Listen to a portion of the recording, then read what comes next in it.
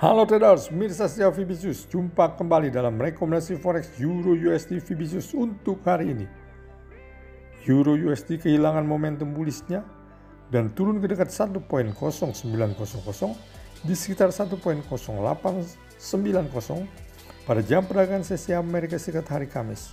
Setelah sebelumnya sempat naik ke ketinggian beberapa minggu di 1.0930 akibat pengumuman FOMC The Fed pada hari Rabu yang membuat indeks dolar Amerika Serikat turun tajam.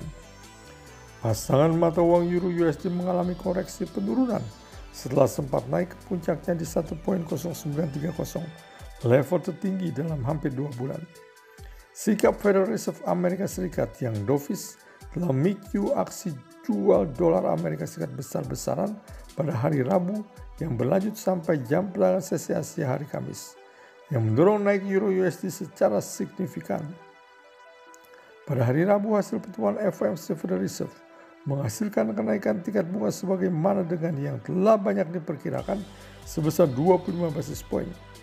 Selain itu, Ketua The Fed Jerome Powell pada konferensi persnya bersikap lebih dovish daripada yang ditujukannya pada bulan-bulan belakangan ini. Kenaikan tajam Euro USD ini membuat pasangan mata uang ini berada pada kondisi overbought yang ekstrim yang membebani investor.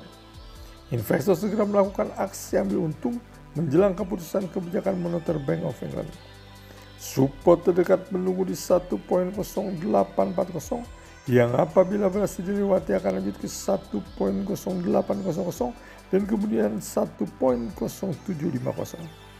Resisten terdekat menunggu di 1.0900 yang apabila berhasil dilewati akan lanjut ke 1.0930 dan kemudian 1.0980. Demikian rekomendasi forex euro USD untuk hari ini. Semoga bermanfaat bagi Anda. Selamat berinvestasi. Sukses selalu. Salam hebis.